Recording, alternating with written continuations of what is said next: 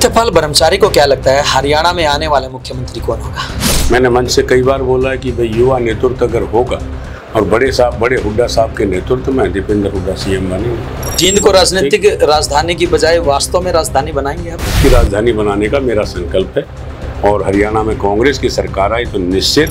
आपने टिकट मिलने के लिए कौन सी गोटी फिट की थी ताकि जो हरियाणा के जो टिकटार्थी आपको सुन पा रहे हैं देख पा रहे हैं वो आप वाली ही गोटी फिट कर सके? मैं उनका आभारी हूँ। और धन्यवाद ज्ञापित करता हूँ आपके माध्यम से उन्होंने मेरा पूरा साथ दिया। सत्यपाल ब्रह्मचारी थोड़ा सा बड़ा सोचते हैं। आप कभी मिले हैं सुरजेवाला से कुमारी शैलजा से चौधरी वीरेंद्र सिंह से? आपको सुना होगा खटाखट खटाखट खटाखट, वही तो खटाखट थी। जब इतने वोट डालोगे जीत विजय हो जाए। कुमारी शैलजा हो रणदीप सिंह सुरजेवाला हो चौधरी वीरेंद्र सिंह हो तमाम बड़े कदावर नेता भी आपकी पार्टी में मेरा कोई उन पे एहसान नहीं है। वो बड़े दिल के व्यक्ति हैं। सत्यपाल ब्रह्मचारी ने ऐसा क्या पतरा पड़ा है कि एक पार्टी के तो सारे विधायक ही बुला लिए पार्टी में? तो खुद आए हैं ये देख के कि हरियाणा में अच्छी सरकार बनने जा रही है। तो बीजेपी के नेता दावा कर रहे हैं कि कांग्रेस पार्टी पाँच सीटें जीतने के बाद बेवजह उत्साहित है क्योंकि 46 सीटों पर उन्होंने जीत हासिल की है और 42 सीटों पर कांग्रेस पार्टी ने जीत हासिल की है। जो मुख्यमंत्री घोषणा करता है वो सारी कांग्रेस के संकल्प पत्र की है। नायब सैनी तो कह रहे हैं कि हमने सर्टिफिकेट बांट दिए है उनको जगह दे दी है। एक भी किसी को कह दे गोहाना में भी ये प्लाट हमने इसको दिया है। कहते हैं करते नहीं है। अस्सी से ज़्यादा टिकट के दावेदारों ने आवेदन किया है। आपको नहीं लगता कि टिकट तो किसी एक को मिलेगी बाकी जो है वो कहीं निर्दलीय चुनाव में खड़े होकर कांग्रेस पार्टी के लिए ही समस्या न बन जाए। बड़े लीडर हैं वो सब करेंगे और उनको समझा के कांग्रेस का काम कराएँगे। इन्होंने टिकट के लिए आवेदन किया है केवल उन्हीं में से टिकट मिलेगी या कोई और चेहरा भी आ सकता है? जो जीतने वाला होगा टिकाऊ होगा कांग्रेस के प्रति उसकी आस्था होगी उसको टिकट मिलेगा। बीजेपी बहुत बड़ा उद्योग ले तो आई मारुति उद्योग। मारुति उद्योग क्या है? आप जाके देखिए उसमें। मरम्मत का काम मारुति के जो मरम्मत होती है ना वो काम वहाँ बनेगा, जो स्पेयर पार्ट वो थोड़े बहुत जो बनेंगे, वही बनेंगे। सोनीपत के सांसद सत्यपाल ब्रह्मचारी जी अभी हमारे साथ मौजूद हैं और चुनाव का ऐलान हो चुका है। पूरा हरियाणा जानना चाहता है कि अब की बार टिकट किसके भाग्य में जाएगी। सत्यपाल ब्रह्मचारी अच्छी तरह से जानते हैं कि आखिरकार टिकट का क्या कुछ फार्मूला रहेगा, क्योंकि जब इन्होंने चुनाव लड़ा था तो किसी को नहीं पता था कि यहाँ से सत्यपाल ब्रह्मचारी जी आएँगे और चुनाव जीत जाएँगे। सत्यपाल जी स्वागत है आपका बिंदा सेना धन्यवाद भैया। चुनाव की तारीखों का ऐलान हो गया है सतपाल जी। ऐलान होगा आपको क्या लगता है टिकटों का क्या कुछ फार्मूला रहेगा? देखिए वैसे तो काम ये हाईकमान और हरियाणा हाईकमान का है। जी। पार्टी का संगठन का काम है। जी। लेकिन मैं आपके माध्यम से कह सकता हूँ जी। कांग्रेस के प्रति आस्था होगी कांग्रेस में टिकाऊ होगा और जीतने वाला होना चाहिए। जी। उसको पार्टी निश्चित तौर पर उसको टिकट देगी। हरियाणा की अगर हम बात करें तो किसी ने सोचा भी नहीं था कि जब आवेदन मांगे जाएँगे तो इतने आवेदन आ जाएँगे। हज़ारों की संख्या में टिकटार्थी कांग्रेस पार्टी के लिए तैयार हो जाएँगे। ये कांग्रेस पार्टी की प्रति एक लहर है हरियाणा में। जी। और मुझे लगता है ये ऐसी लहर कभी 20 साल पहले आई होगी जो 80 से ऊपर विधायक जीत के गए थे। और आज मैं कह सकता हूँ आपके माध्यम से जी। उससे भी ज़्यादा लहर आप देख रहे हैं इस समय हरियाणा में। जी। बिंदास हरियाणा के खास कार्यक्रम खास शख्सियत में अभी आप सुन पा रहे हैं सोनीपत से सांसद सत्यपाल ब्रह्मचारी जी को। सत्यपाल जी अगर हम बात करें बीजेपी के नेताओं की तो बीजेपी के नेता दावा कर रहे हैं कि कांग्रेस पार्टी पाँच सीटें जीतने के बाद बेवजह उत्साहित है क्योंकि 40 सीटों पर उन्होंने जीत हासिल की है और 42 सीटों पर कांग्रेस पार्टी ने जीत हासिल की है। नहीं वो पाँच सीट को हल्के में ले रहे हैं क्या भारतीय जनता पार्टी के लोग? पाँच सीटों के लिए उन्होंने एक एक तो मुख्यमंत्री बदल दिया था। जी। और आज भी आप देख रहे हैं जो मुख्यमंत्री घोषणा करता है वो सारी कांग्रेस के संकल्प पत्र की है। जी। जो कांग्रेस ने कहा चाहे गैस का सिलेंडर हो या कोई और काम हो उन्हीं कामों को माननीय मुख्यमंत्री जी आजकल प्रसारित करते हैं लेकिन आप देखते हैं कहेंगे कुछ हो हुआ कुछ क्या? जी। पाँच सौ का सिलेंडर मिला किसी ने कोई आदमी मिला कि हम पाँच सौ का सिलेंडर ले आया आप तो पत्रकार हैं पूरा दर्पण है आपके पास। पूरे हरियाणा का। बड़ी बड़ी बात कह रहे हैं सांसद साहब आप। बड़ी बात कह रहे हैं। कांग्रेस पार्टी तो ढोल पीट पीट कर इस बात का प्रचार कर रही है कि हम 500 का सिलेंडर दे रहे हैं। 500 का सिलेंडर 300 यूनिट बिजली फ्री और 6000 पेंशन जी। ये कांग्रेस की सरकार कर सकती है। श्रीमान हुड्डा साहब का संकल्प पत्र आपने पढ़ा होगा चौधरी उदय भान जी। जी जो हमारे कांग्रेस के प्रधान हैं। जी। उन्होंने तय किया है कि सरकार बनते ही छः हज़ार पेंशन बुढ़ापा पेंशन जिसको हम बोलते हैं वो छः हज़ार कर दी जाएगी। गरीबों के लिए जो प्लाट हुड्डा साहब सर के नेतृत्व में जो सरकार थी कांग्रेस की उस समय जी। सौ सौ गज के प्लाट दिए थे। जी। जो ये आज कह रहे हैं कि हम दे रहे हैं। जी। काफ़ी लोगों को उन्होंने दे दिए थे और अब ये भारतीय जनता पार्टी आज तक भी कब्जा नहीं दिला पाई।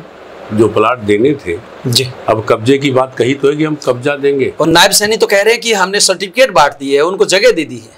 कहाँ पे दिए गोहाना में आप हैं? जी। पूरा हरियाणा देखते हैं। जी। कोई मिला कि हाँ भाई मुझे आज प्लाट मिल गया है? जी। आप एक भी किसी को कह दें गोहाना में भाई ये प्लाट हमने इसको दिया है। जी। कहते हैं करते नहीं है। वो तो रोज़गार भी दे रहे थे। दो करोड़ लोगों को देश के माननीय प्रधानमंत्री जी ने घोषणा की थी कि साल में दो करोड़ लोगों को हम रोज़गार देंगे। जी। हरियाणा में जो भर्ती होती थी आजकल लोग ठेकेदारी प्रथा शुरू कर दी है कौशल विकास निगम के नाम से जी। जो इंजीनियर लाखों रुपए लगा करके पढ़े थे हज़ारों लाख रुपए दे के फ़ीस दे के पढ़े थे जी। उनको पंद्रह हज़ार और सत्रह हज़ार में काम करना पड़ता है। तो ये हरियाणा का दुर्भाग्य नहीं है। जी। उस युवा का दुर्भाग्य नहीं है जिसके माता पिता ने उसको पैसे खर्च करके पढ़ाया। और वो इंजीनियर बना या कुछ भी बना डबल एम ए पी किए हुए जो हमारे नौजवान साथी हैं जो लड़के हैं जी। उनको सत्रह अठारह हज़ार की नौकरी। जी। एमपी साहब लेकिन अगर हम बात करें बीजेपी की तो वो कहते हैं कि हमने एक लाख बीस हज़ार युवाओं को रोज़गार दे दिया। कांग्रेस पार्टी हिसाब मांग रही है और वो कह रहे हैं कि अ, आपने देखा होगा कि अमित शाह भी हरियाणा में आए थे उन्होंने कहा था कि हम पाई पाई का हिसाब देने के लिए तैयार है। तो मैं पाई पाई का हिसाब लेके आया हाँ, तो हूँ आप लेते क्यों नहीं? तो मांग तो रहे रोज। ये यात्रा आज देखिए अब हो गया अपने जी। गोहाना में। अभी तक हमारे युवा नेता और जो कांग्रेस के लिए ये माहौल जिस व्यक्ति ने बनाया जी। मान्य दीपेंद्र हुड्डा जी ने राहुल जी के नेतृत्व में सोनिया जी के नेतृत्व में खड़गे साहब के नेतृत्व में और चौधरी भूपेंद्र सिंह हुड्डा के नेतृत्व में और चौधरी उदय भान के नेतृत्व में आज हरियाणा में। आज आप गोहाना में थे। जी। आपने जन सैलाब देखा होगा। मैं तो कह सकता हूँ कि वास्तव में दीपेंद्र जी ने कांग्रेस के लिए सबसे ज़्यादा मेहनत किसी व्यक्ति ने की है तो उसका नाम दीपेंद्र हुड्डा है। जी। सत्यपाल ब्रह्मचारी को क्या लगता है हरियाणा में आने वाला मुख्यमंत्री कौन होगा? देखिए ये हाईकमान का फैसला है। दिल की आवाज़ क्या दिल की आवाज़ तो यही है कि भाई हम भूपेंद्र सिंह हुड्डा जी के नेतृत्व में चुनाव हमने भी लड़ा और आगे जो हमारे विधानसभा के जो उम्मीदवार होंगे जो निश्चित तौर पे हुड्डा साहब के नेतृत्व में चुनाव लड़ा जा रहा है। उनकी पॉलिसी के अनुसार चुनाव लड़े। साहब हम बहुत सारी विधानसभा सीटों में साथ में गए हैं। हमने हरियाणा का जो हिस्सा मांग यात्रा है उसको कवर किया है। तो जगह जगह पे एक बात सुनने को मिल रही है कि अब की बार दीपेंद्र सिंह हुड्डा को मुख्यमंत्री बनाएँगे इस तरह के नारे लगाए जा रहे हैं। मैं भी कहता हूँ।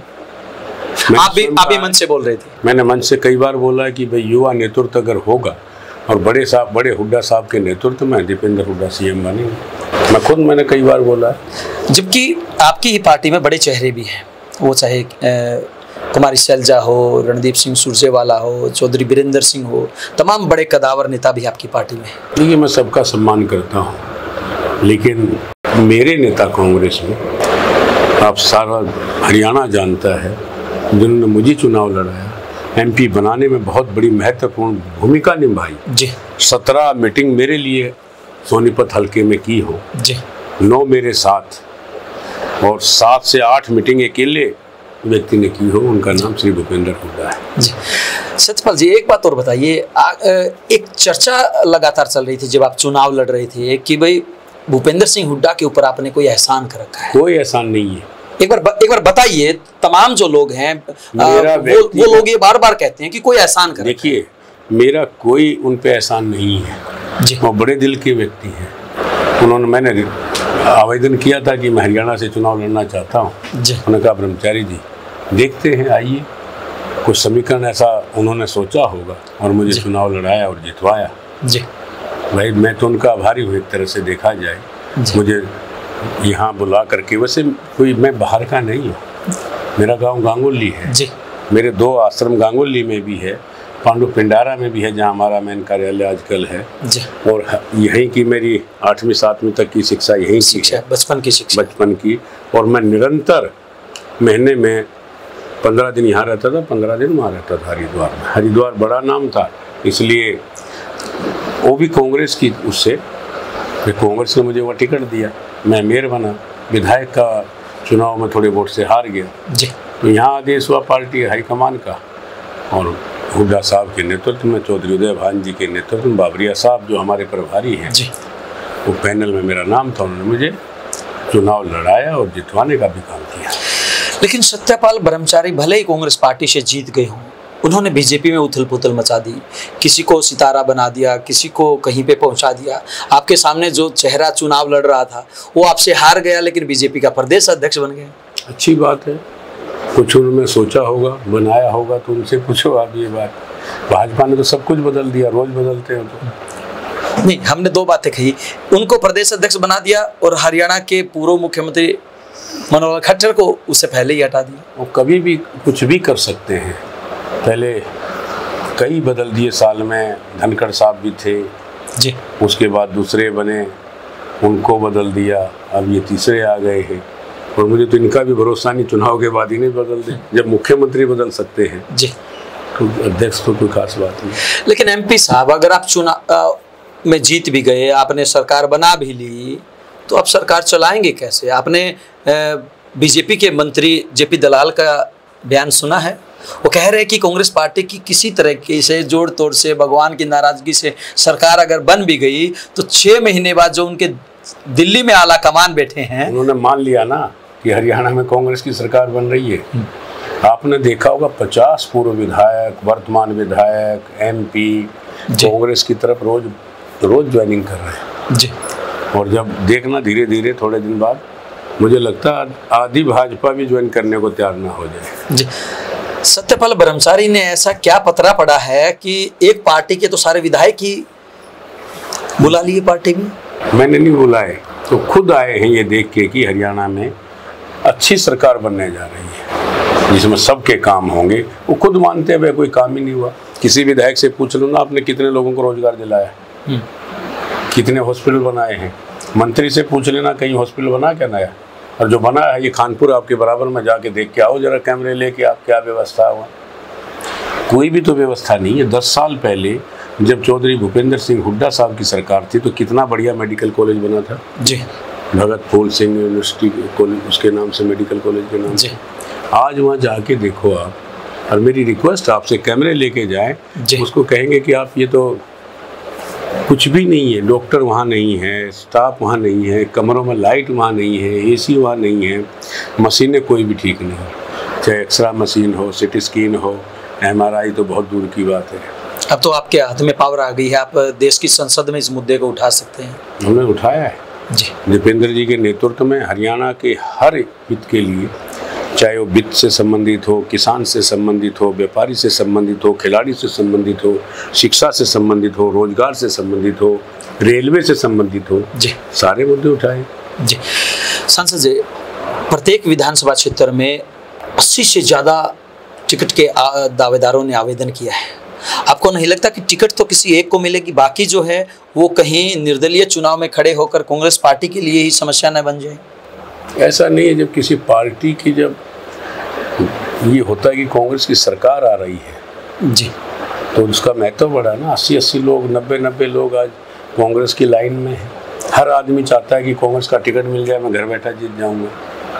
तो ये तो अच्छी बात है। अच्छी बात है लेकिन, लेकिन- अगर टिकट नहीं मिली तो? टिकट नहीं मिली तो आपको नहीं लगता कि हमारे बड़े लीडर हैं। विरोध होगा? बड़े लीडर हैं वो सब करेंगे और उनको समझा के कांग्रेस का काम कराएँगे। मेरे से पहले जब मैं यहाँ सोनीपत में चुनाव लड़ रहा था उनासी कैंडिडेट थे सेवेंटी नाइन अस्सी में मैं हो गया ना। जी। मैंने चुनाव लड़ा। मैं दावे से कह सकता हूँ कि जिस भी भी आदमी ने आवेदन किया था उन्होंने मेरा रात दिन काम किया है। एक भी कोई ऐसा नेता नहीं था कि उसने मेरा विरोध किया हो कि सतपाल ब्रह्मचारी को गलती कर दे दिया गया। सतपाल जी फिर तो दो बातें और बताइए आप। आपने टिकट मिलने के लिए कौन सी गोटी फिट की थी ताकि जो हरियाणा के जो टिकटार्थी आपको सुन पा रहे हैं देख पा रहे हैं वो आप वाली ही गोटी फिट कर सके? देखिए मेरा नहीं सर्वे था कांग्रेस का जी। कौन आदमी यहाँ से सीट को निकाल सकता है। उसमें कई तरह के समीकरण हैं। और भाई कुछ न कुछ हाईकमान ने सोचा होगा मुझे टिकट दिया। लेकिन मैं उन सभी साथियों का जो यहाँ पर लोकसभा का टिकट मांग रहे थे मैं उनका आभारी हूँ और धन्यवाद ज्ञापित करता हूँ आपके माध्यम से। उन्होंने मेरा पूरा साथ जी अ, ब्रह्मचारी जी एक बात और बताइए कि जिन्होंने टिकट के लिए आवेदन किया है केवल उन्हीं में से टिकट मिलेगी या कोई और चेहरा भी आ सकता है? देखिए हाईकमान का है ये मेरा नहीं है इसमें दखल। हाईकमान जिसको चाहेगा जो जीतने वाला होगा टिकाऊ होगा कांग्रेस के प्रति उसकी आस्था होगी उसको टिकट मिलेगा। रणदीप सिंह सुरजेवाला ने आवेदन ही नहीं किया। बड़े लीडर हैं वो। बड़े लीडर को के लिए कोई खास बात नहीं जो आवेदन करें वो तो आवेदन लेने वाले लोग हैं। मतलब छोटे लोगों के लिए ही ये फॉर्मेलिटी ऐसा नहीं बड़े नेता हैं। जी। कार्यकर्ता एक बराबर होता है समानता होती है कांग्रेस का चाहे छोटा कार्यकर्ता हो चाहे बड़ा कार्यकर्ता हो। जी। वो समानता है लीडर बड़े जी। तो ठीक है मेरे ख्याल में कई बार के विधायक हैं राज्यसभा के सदस्य हैं। ब्रह्मचारी जी थोड़ा सा रा, राष्ट्रीय महासचिव हैं। सत्यपाल ब्रह्मचारी थोड़ा सा बड़ा सोचते हैं। आप कभी मिले हैं सुरजेवाला से कुमारी शैलजा से चौधरी वीरेंद्र सिंह से? मेरा लगभग पिछले तीस वर्षों से संबंध रहा है राम राम है मेरी बढ़िया। कैसे नेता हैं वो तीनों? सारे अच्छे नेता मैं कह रहा हूँ ना हाईकमान सारे ठीक है।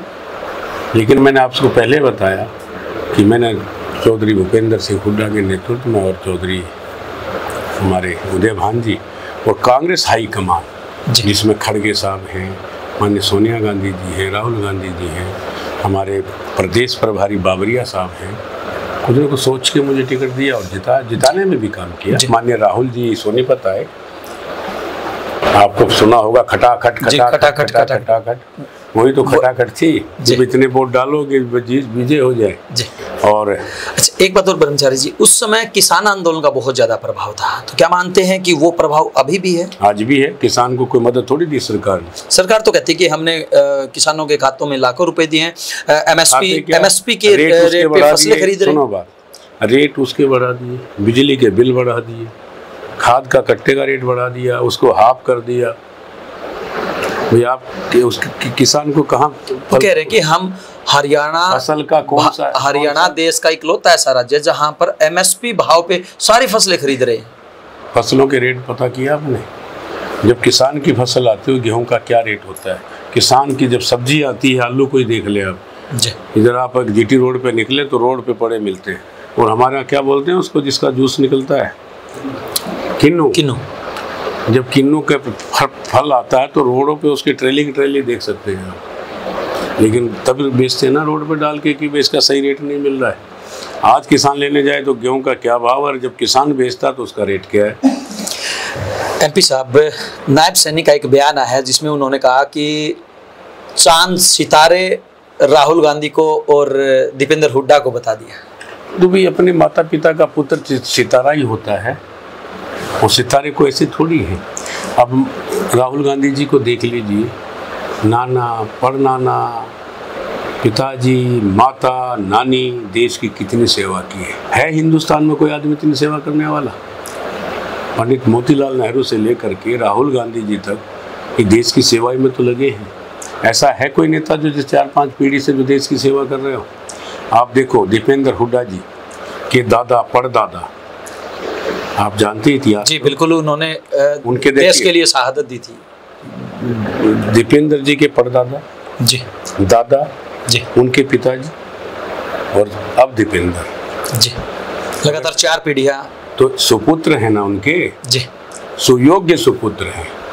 आज हरियाणा में कांग्रेस के लिए जिस जिन्होंने अपनी जान लगा रखी है आप देखते होंगे दो दो तीन तीन यात्राएँ रोज करना पंद्रह पंद्रह किलोमीटर पैदल चलना ये उसी का तो असर आज हरियाणा में कांग्रेस आ रही है। एक बात और बताइए एमपी साहब मैंने आपके चुनाव के दौरान लगभग दस बारह इंटरव्यू किए थे। जी। आप जितना अभी तक बोले हैं इतना तो पूरे दिन में नहीं बोलते थे। अब ऐसा क्या उत्साह आ गया? उस समय मैं अपने वोट मांग रहा था। मैं सोचता था इनको तो बाद में बोल लेंगे जो बोलना होगा पहले दस आदमी और मिल लेते। हैं फिर आप कुछ भी पूछ लें। इसका मतलब ये हुआ कि सिर्फ़ वोटों की तरफ़ आपने फोकस किया था। पहले मैंने अपने मतदाताओं को हम कहते हैं ना मतदाता भगवान का रूप है। जी। और हम याचक के रूप में उनके पास जाते हैं कि हमें अपना वोट देना। तो पहले उनसे ज़रूरी बात करनी थी। जी।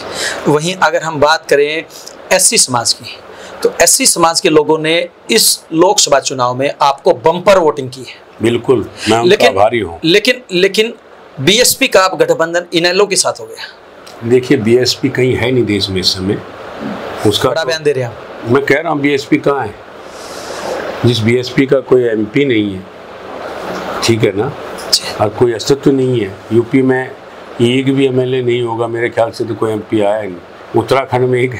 एमएलए भी नहीं है हरियाणा में एक एमएलए भी नहीं है। उस पार्टी का अस्तित्व खतरे में है। तो हाथ पैर मार रहे हैं। आपने देखा होगा कई जगह तो नोटा से भी पीछे रह गई कई पार्टी। जी। कोई एक ही दो पार्टी थी एक ही दो संगठन रहा हुआ जो नोटा से आगे निकल गया हरियाणा में। जी। और भाई मैं तो आभारी हूँ ऐसी समाज का जिन्होंने बम्फर वोट मुझे दिया है। बम्फर वोट जिसको कहते हैं। जी। तो आपको वैसे चुनाव से पहले उम्मीद थी कि इतने वोट आपको मिल जाएँगे ऐसी वर्ग के? मुझे तो ये भी उम्मीद नहीं थी मुझे कांग्रेस का टिकट मिल जाएगा। मैं साफ़ कहता हूँ। बड़े भाग्यशाली। भाग्यशाली कहिए या मुझे ठीक है मेरे नेताओं ने मुझे अच्छा समझा तो टिकट दिया और जिताने का भी काम किया रात दिन मेरे लिए लगाया। जी अंतिम सवाल आपको मौका मिल गया है सांसद के तौर पे सोनीपत लोकसभा क्षेत्र की सेवा करने का। तो हरियाणा में भी मान लीजिए कांग्रेस की सरकार बन जाती है तो आपके मन में क्या टीस है जो आप सोनीपत के लोगों के लिए करना चाहते हैं? देखिए सोनीपत लोकसभा में जींद और सफेदों जुलाना भी आता है। जुआना भी आता है। जी।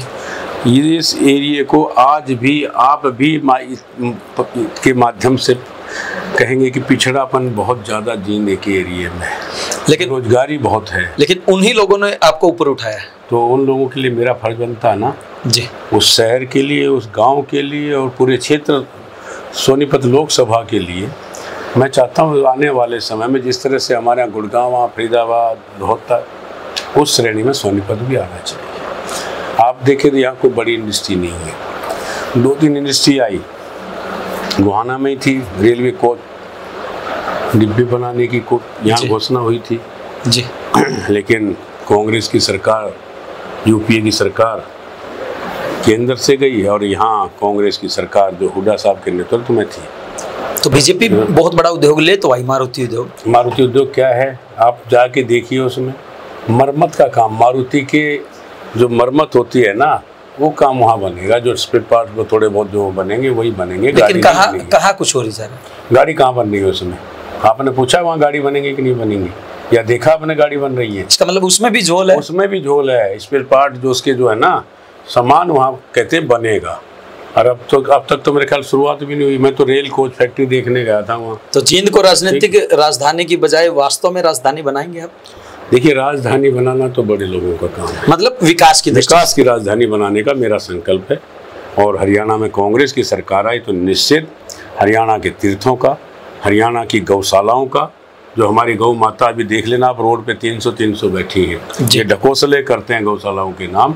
ये नहीं होंगे, बढ़िया गौशाला स्थापित हरियाणा की कांग्रेस की सरकार करेगी। जी, बिल्कुल खास शख्सियत के खास कार्यक्रम में ये थे खास मेहमान सोनीपत से सांसद सत्यपाल ब्रह्मचारी जी, जिन्होंने साफ़ तौर से कहा कि भले ही बीजेपी के लोग कितने ही दावे करते रहें, लेकिन आने वाले 2024 के चुनाव में कांग्रेस पार्टी की जीत होगी और भूपेंद्र सिंह हुड्डा यहाँ से मुख्यमंत्री बनेंगे। इससे भी ये कदम आगे, इनका ये भी साफ़ तौर से कहना कि भले ही कितने ही टिकटार्थी कांग्रेस पार्टी के अंदर चुनाव लड़ना चाहते हो, लेकिन जब टिकटों का ऐलान होगा, टिकटें मिलने के बाद तमाम जो टिकटार्थी हैं, वो एक ही छत के नीचे आकर कांग्रेस के हाथ के साथ को मज़बूत करेंगे। अब देखना ये होगा कि क्या कांग्रेस पार्टी तमाम टिकटार्थियों को एक ही मंच के नीचे ले पाती है या नहीं, और साथ ही साथ क्या हरियाणा में कांग्रेस एकजुटता में रहते हुए सरकार बना पाती है। बहरहाल एक बात तो तय है कि जैसे जैसे 2024 का विधानसभा चुनाव नज़दीक आता जा रहा है, वैसे वैसे हरियाणा की राजनीति का सियासी पारा भी गर्माता जा रहा है। अब देखना यह होगा कि हरियाणा की जनता किसके सिर पर चौधर का ताज सजाती है। वीडियो जर्नलिस्ट अमित आशीष के साथ अजय लोहान, बिंदास है